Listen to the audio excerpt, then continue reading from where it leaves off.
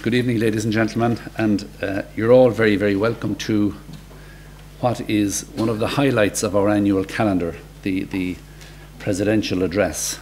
Um, a particular word of welcome, obviously, to everybody here and also to those who are joining us this evening by webcast. Now, just for everybody here to be aware of the two exit safety exits, and I'm sure at this stage everybody's phone is either on silent or turned off.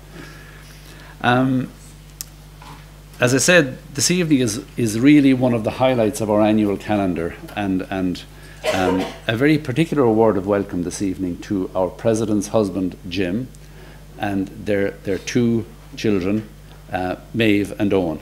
We're delighted to have you here, and thank you very, very much for coming along.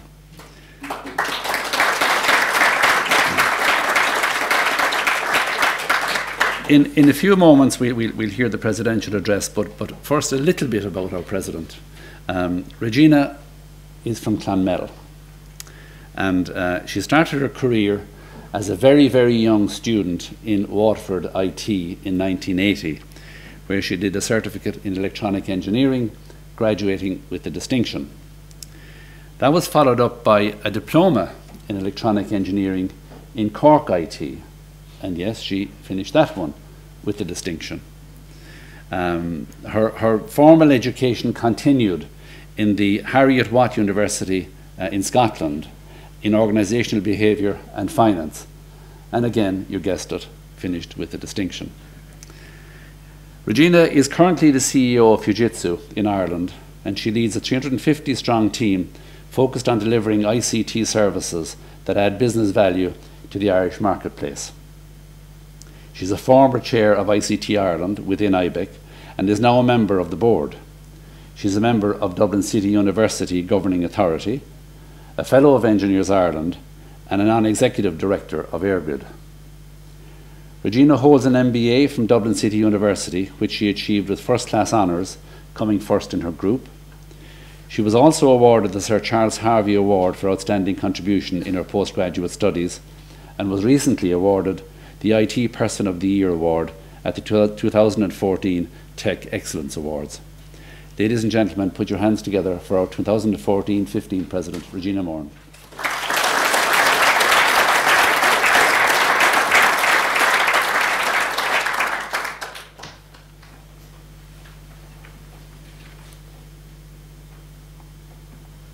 This is when you're hoping the technology works.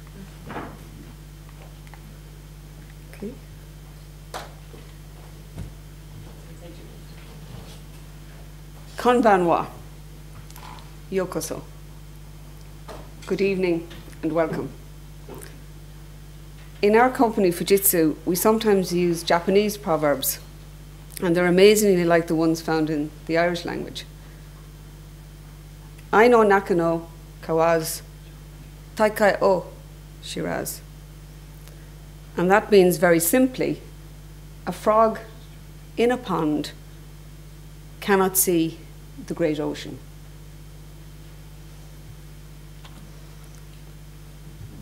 Much like the proverb, as engineers, we see beyond the boundaries to what is possible.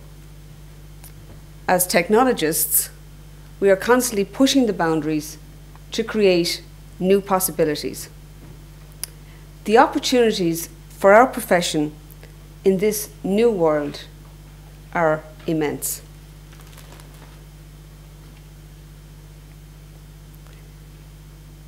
Past presidents, vice presidents, director general, council members, guests, fellow engineers, and of course my family, Jim, my husband up there, and two of my three children, Maeve and Owen. You are all very welcome. What an honour it is to be here this evening to give my presidential address. Walking up the steps of Clyde Road this evening, I thought back to my very first job as an electronics technician in Cork. And I must say, I felt a mixture of pride and a certain amount of disbelief. As Paul O'Connell would say, unreal. I have chosen two main themes of this presidential year convergence between all forms of engineering and the challenge of attracting women to our profession. I want Engineers Ireland to thrive and push the boundaries of our new interconnected world, and it is my ambition to try to help make this happen.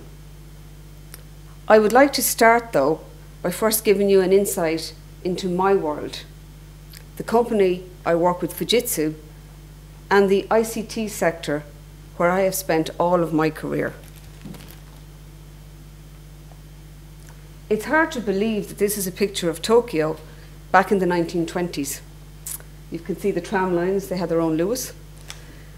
and telecommunications infrastructure, road networks, and so forth. A kind of a modern day image almost of engineering at its best. However, in 1923, the Great Kanto earthquake, measuring 7.9 on the Richter scale, struck. It destroyed much of Tokyo and Yokohama's public infrastructure. The transport, water, telecommunications were wiped out in either the quake or the ensuing firestorms. 120,000 people were killed. In response, a small group of engineers set out and went to Germany to learn about the new automatic switching equipment which could help rebuild their country, Japan. Collaborating with their German colleagues, they founded a company, a joint venture between Furukawa Electric and Siemens of Germany, which they called Fuji Electric. From these humble beginnings, Fujitsu has grown into a global corporation. The organization where I work today has 162,000 Fujitsu people supporting customers in more than 100 countries. Fujitsu has a vision of a human intelligent society, a human centric intelligent society with engineering at its core. Fujitsu's heritage as an engineering company, which is focused on solving some of today's most challenging problems, continues right through to the present day. In an interesting parallel, during the recent crisis at the Fukushima nuclear plant, which was caused, you might remember, by an earthquake followed by a tsunami, engineers were called on yet again. Our Fujitsu president Yamamoto made all of our engineers available around the clock to repair data centres, to get telecommunications back online, to use engineering skills wherever possible. Engineering solves the most difficult human problems. Of this, there is no doubt. Tokyo, with now almost 30 million people, was largely unaffected by a 9.0 earthquake. Engineers, in less than 100 years, built a city capable of withstanding a much bigger quake. But nature, in the form of a 100 foot tsunami, still caused havoc. Another challenge to be solved by engineers, but I guess that's for another day. As your president, I'm excited and confident about the future year ahead, but I also realise the challenges we face in Engineers Ireland. As you know, we are undertaking a strategic review.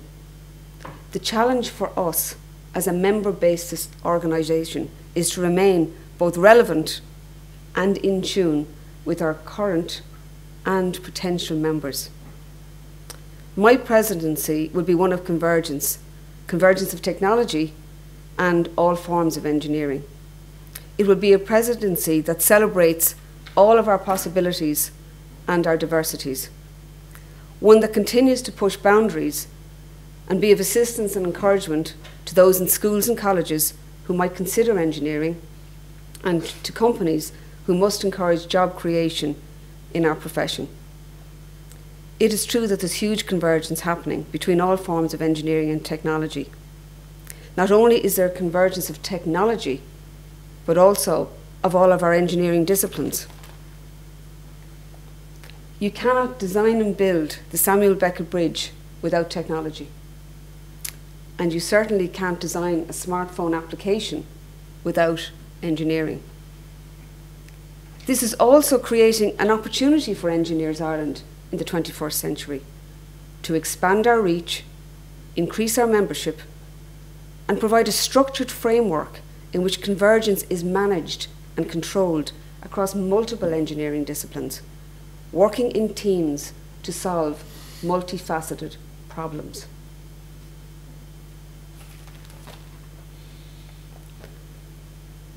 It's worth looking, I think, at some facts about the ICT sector in Ireland. We directly employ 105,000 people, with 75% employed in multinational companies and the remainder in the indigenous technology sector. In the last three years, over 17,500 jobs have been announced by technology companies. The sector is responsible for 40% of our national exports and is home to eight of the top 10 global technology companies. Certainly, Ireland is emerging as a global technology hub. But from the President of Engineers Ireland perspective, this shows the size of the opportunity for Engineers Ireland's membership, and it is one that is largely untapped. It is not beyond the bounds of possibility to double our membership if the value proposition is right.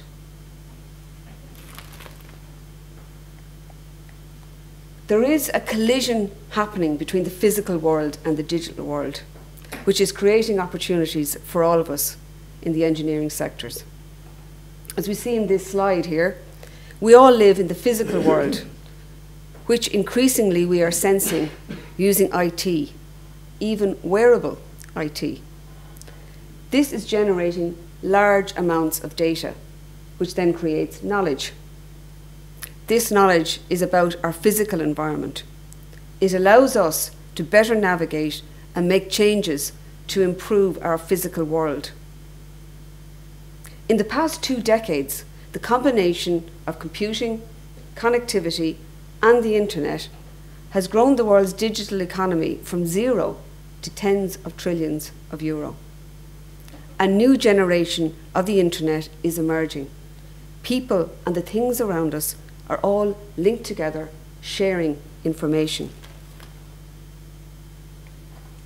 The World Economic Forum calls it the hyper-connected world, and it has huge impacts for the future. More connectivity means more collaboration. It means vanishing boundaries. It means changes to the way businesses work and how society creates value. But it also means risk and uncertainty it means the future will be very different from the past. There is enormous change happening. The hyper-connected world was made possible when the internet was born, and all manner of things became accessible to almost everyone, anywhere. The internet has brought together everybody and everything people, companies, governments, and most recently, machines.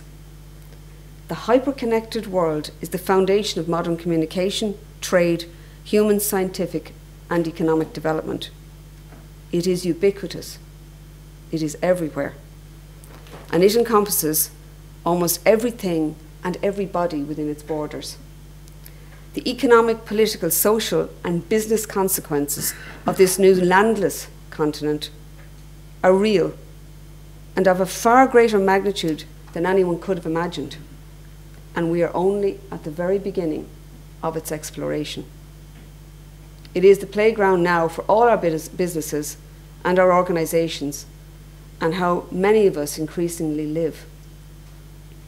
At the heart of the hyper-connected world is a new industrial revolution. We in Engineers Ireland, I think, need to be very aware of these implications. This revolution is happening now as we connect all things to the internet and all things to each other. We don't live in a world of screens and computers. We live in the physical world. We sleep in beds, we eat food, we drive cars, we work in buildings, we socialise in cities.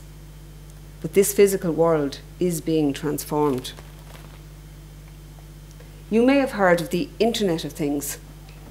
The digital world will connect your car, your washing machine, air conditioners, even your light bulbs. In 2013, around 10 billion devices are online and connected to the internet. But this number is likely to increase to 50 billion or more by 2020. And as the number of endpoints increase, so does the amount of information. Harnessing this information give us new insight and greater control of our world. It creates knowledge, but it also carries risk. With so much of what we do in the physical world now written down in bits in our digital world, we face a serious challenge to secure what we do and protect our privacy. We must also defend ourselves against ever increasing malicious threats. we must avoid the chaos that change always has the potential to bring. A huge challenge where engineers can make critical interventions.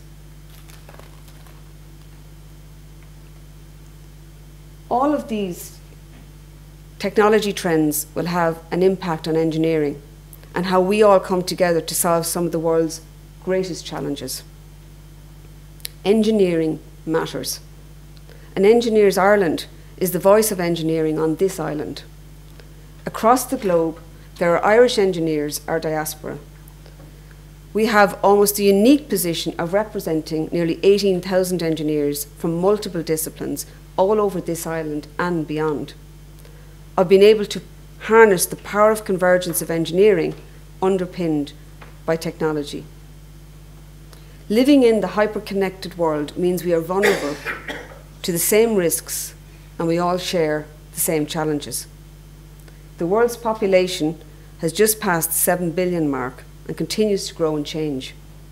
We are aging and we are moving into cities, creating new challenges for our social infrastructure.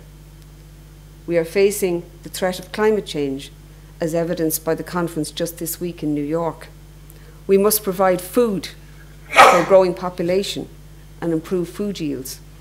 We, as in Japan, must respond to natural disasters. So, how do we respond to the challenge of this hyper-connected world? How do we take advantage of the opportunity? How do we guard against the many risks?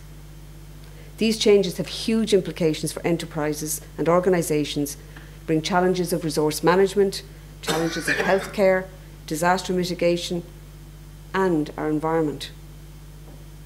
Put simply, we need more engineers in the world. There is both a global and local challenge to attract and retain talent in our profession. So, where are we going to get these engineers? I would say this, wouldn't I? Women still remain largely an untapped resource in our profession. We must find ways of attracting young girls as well as young boys to join forces with us and tackle some of these great global issues. As part of my term, I will champion the schools, colleges, and companies who are encouraging women to join the engineering world at any level. This lady here started it all. It's Alice Perry, the first woman engineering graduate in Ireland or Britain back in 1906. She paved the way for other women to study engineering I strongly believe we need more women engineers. And, if I might be so bold, I think we need more women in this organisation at every level too. Earlier this year, Silicon Republic, which is the online technology media company, set out to compile a list of the leading women in the areas of science, technology, engineering, and maths in Ireland. From world leading academics to inspiring science communicators from tech business leaders to early stage entrepreneurs and lots of engineers, they were spoiled for choice. And they ended up with a leading 100 list. And the good news is the number is still growing. However, in last year's Engineering's Perspective report, we were told that on average the ratio of men to women in engineering was 9 to 1. 9 to 1. But the good news is that a fifth of all the respondents in the survey were women, and half of these were under the age of 35. I think this is a very positive signal that more women are actually choosing a career in engineering as they recognise the vast variety of opportunities available to them in areas such as technology, civil, energy, life sciences. I think there's 70 different forms of engineering at least. Huge opportunities. It is very heartening for us in Engineers Ireland to see that programs like our STEPS Schools Outreach Programme is producing results. Our STEPS campaign, touching the lives and ambitions of more than 56,000 young people last year, is a testament to the dedication of Engineers Ireland volunteers across this island. Other professions, like law and medicine, do not have the skills to tackle some of the great global challenges. Some of the ones we mentioned, like climate change, like population growth, or indeed specific challenges mentioned by past presidents, Michael Phillips when he talked about the challenge of urbanisation, and John O'Dea, who talked about the challenge of medical engineering.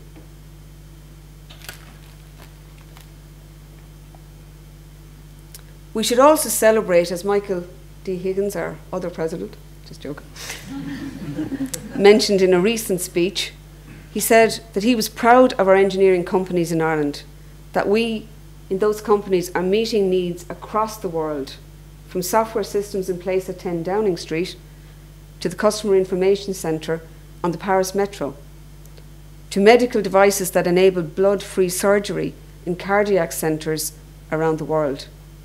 We have groundbreaking initiatives happening right now in Ireland.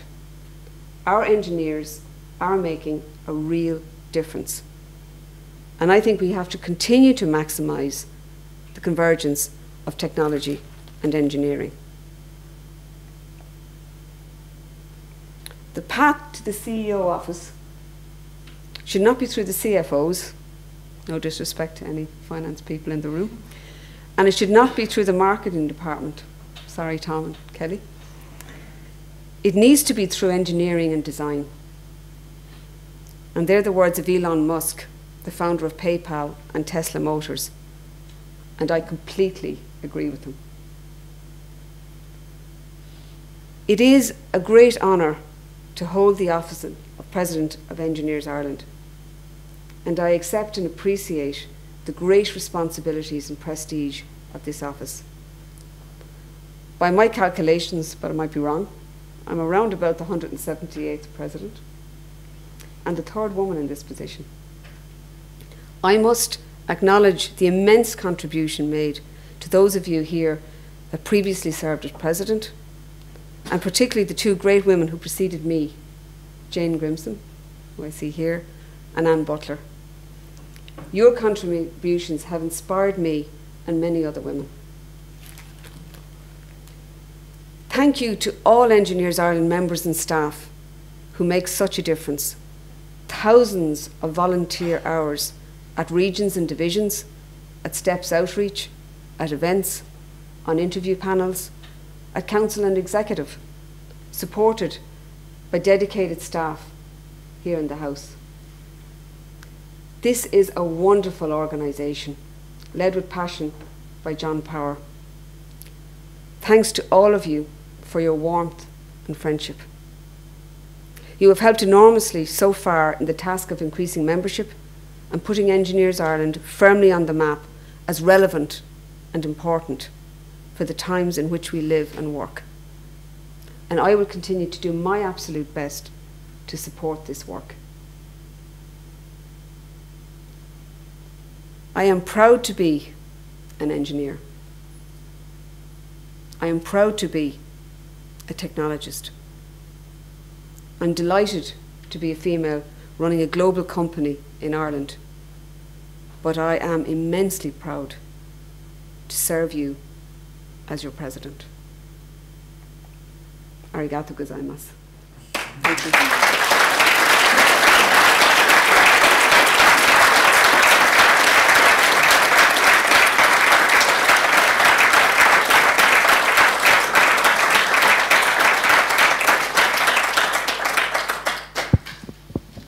Opening the floor to questions, which is always dangerous.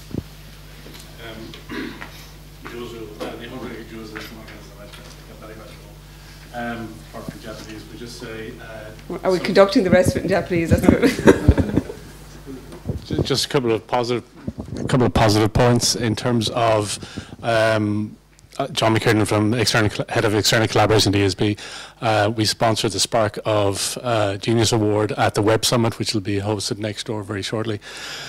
Um, last year, the winner of the Spark of Genius Award was the CEO was a woman, Grania Barron, and her company's doing really well. Vidiad, they make video clips for websites, so fantastic. And this year they've done something different. They've shortlisted three companies out of the 30, which were shortlisted from a longer list. Um, and two of the three presenters on the evening were ladies. So it's good to know that actually they are arriving fast and furious and very strong. So some words of encouragement maybe there. Great, thank you very much. That's not a question, that's even better. Sorry, Raymond Sexton. Look, it's my hobby horse, which is obviously the, the issue of ratio of one to nine women to men is a big issue. But I think the challenge I continually come against in, in Ireland is the, the ratio of engineers in government, in the sense that it, we've highlighted here yet again the key role, the key approaches, the disciplines, the, the, the, the professionalism. And yet, as a profession, we leave the top uh, challenge in the country to the publicans, the school teachers and the solicitors. So my question to yourself is, will we not take that on as well and have more women in there as well as more women in engineering? Well, I have no desire to go into politics now, I can tell you.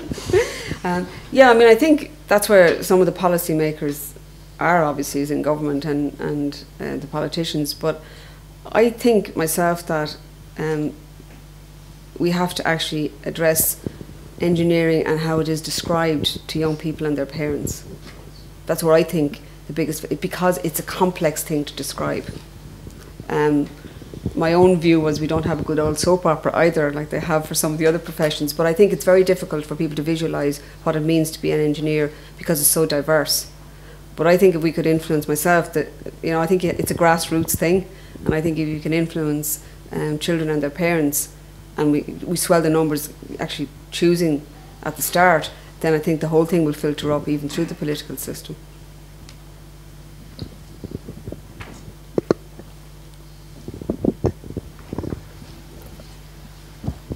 Uh, I'm not an engineer.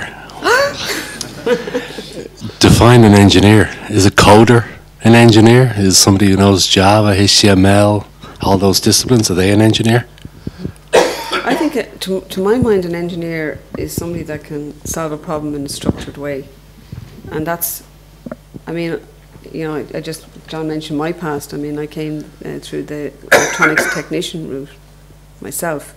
Um, and I think good engineers, and that's the quote, why I like the quote from Elon Musk, is they're problem solvers, and and that can be from from a, multiple disciplines. And I think when, when engineering started out back in the days of Alice Perry, it was quite a narrow thing, and and there was you know it was, there was maybe one or two disciplines, but there's a multitude. And I suppose what I'm seeing more and more is problems are solved by teams of people, not individuals. And the more multifaceted the team is, the better the chances of solving problems. So certainly in my organisation, uh, we have people in the applications world, people in the infrastructure world, people on the service side, and they all come together now to solve problems. Question, to be a member of Engineers Ireland, do you have to have, say, a predefined qualification, for instance? Do you have to be in the mechanical, electrical, etc., etc., or can they? well, I'm not. okay. but I do think the point I was making about the technology sector is um, and people in the computing division, I think, support this because I've met them, is there's probably a whole raft of, of new career types that weren't imagined five years ago that we need to, you know, think about in our strategic review and think about how can we make ourselves relevant to that cohort of people. I mean, nobody heard of uh, an iPhone app developer five years ago. So the pace of change is rapid, and as an organisation, engineers aren't have to remain relevant both to our current membership and stay in tune with our current membership, but also see how can we embrace the rapidly changing environment in which we operate. Um, th- thank you very much for um, a, a very interesting address, and thank you also for uh, taking questions. Um, you spoke about uh, convergence at the start, and then you mentioned towards the end that there's 70 or maybe more different engineering disciplines. Um, and you and you talk about um, the the kind of generic qualities that define an engineer. Uh, have you any thoughts on how uh, higher education should be responding in, in terms of, of training engineers for the future rather than in these maybe 70 different silos? Uh, Well, if I speak about that from a personal perspective, and this is a personal view, not necessarily as president, I think there has been too much specialisation myself, and we've branched into maybe to, at, at a base qualification level too many different things. And the day you start and the day you finish, you can never be up to speed with the day you start work, you know, because the pace of change is so rapid. My own personal view is that we probably need a, a more common base engineering qualification, which is all around problem solving, leadership, and teamwork. Because when you go into the work environment, they're the things that matter. And less specialisation, because to stay relevant, particularly in our sector, the technology sector, from the day you go in to four years later is very difficult. And I think it's a challenge. So I would, my own view is maybe we've gone, you know, too much into all the different fields, and by the time you come out, will that still be the relevant thing, particularly in the technology domain? But that's a personal view. President PJ Rudden of RPS. Uh, building on what you've just said, I was going to ask you, even before you said it, um, you know, your address, um, for which I thank you, uh, was markedly different to any other presidential address which I've heard here. Is that good Uh, or bad? and it's good, very good. Where are you going with this? Where I'm coming, where I'm coming from. your, your connections that you're making between the engineering world and uh, the human world. And uh, I think what I detect from your presentation is that you put a lot of store on, human engineering and the impact on, on individuals, be it climate change or be it congestion or be it um, uh, you know, um, natural disasters and so on. Um, can the ICT world help in any way in, you know, um, attracting uh, young people, boys and girls, and indeed especially girls, where they're lacking at the moment, into the personality of engineering?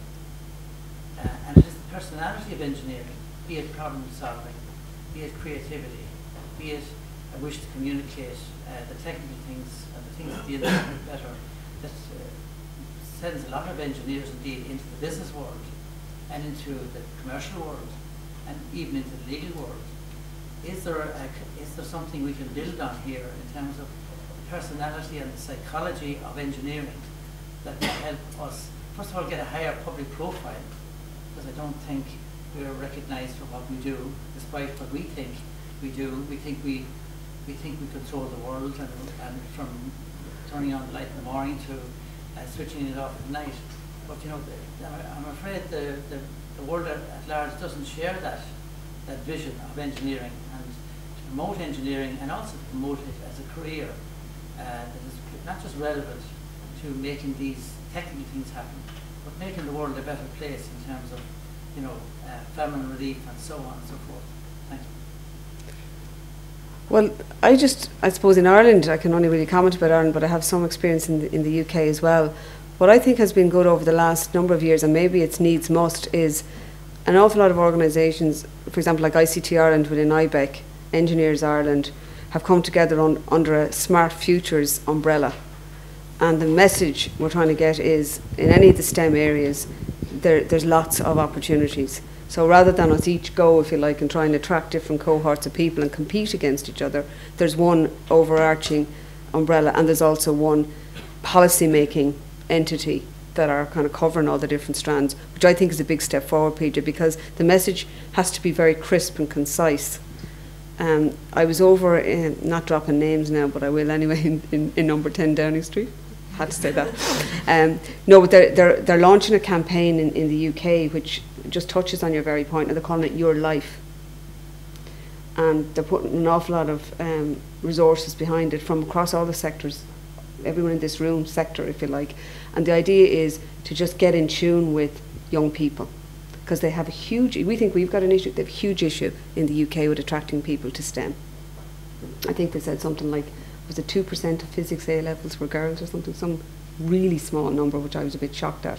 So it's not a challenge that we just have, but the good thing about Ireland is you can get groups of people around a table very quickly here, disparate groups, and get something going. And I've seen that happen. And I think that is beginning to have an impact, a positive impact on just exactly what you say, explaining in a simple term something that's quite complex to people, to reach out to people and make them excited about the prospect of being involved in this world.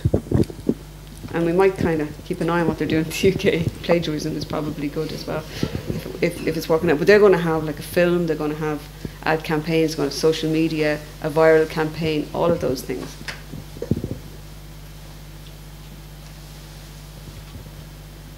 Any more questions?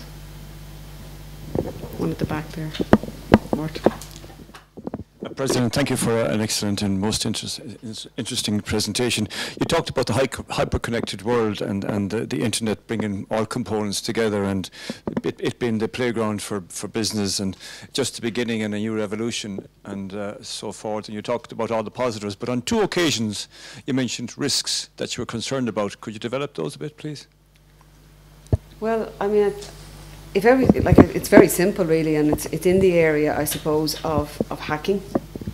You know, if you have everything connected and all of our physical world is represented in bits and bytes in the digital world, how do you protect that? How do you protect that from what I call malicious threats? That's that's a, a real concern, and you have to engineer security into solutions. There's no point in trying to retrofit, because then it's happened. So that it's a bit like designing for testability. You probably know that phrase.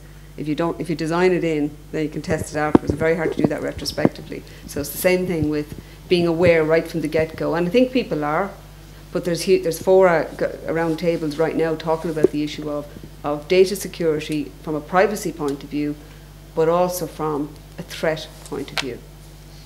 Because what you could do with that information, data, and knowledge can be very positive I mean, you can control the traffic with them. Michael, you told with a wave of your hand you can get the red lights all turned to green, but you could also do something quite sinister.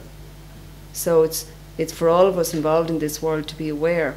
And the solution, again, is to engineer the controls into the world as opposed to try and retrofit it afterwards.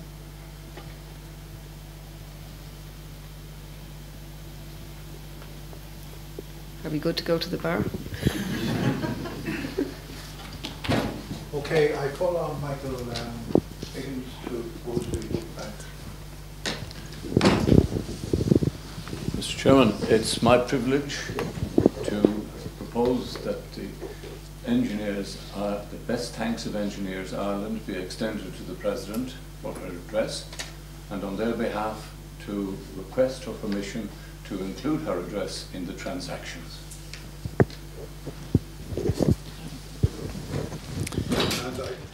Oh, sorry. Okay. Yeah. he's, okay. He's, he's dying for a drink at this point. Yeah, yeah. Not at all. Um, I'm just jealous of the president. and uh, it is my pleasure uh, to uh, second the vote of thanks uh, for an excellent and most interesting uh, address. And I would ask you to show your appreciation uh, and, and, join me in the usual way. Thank you very much.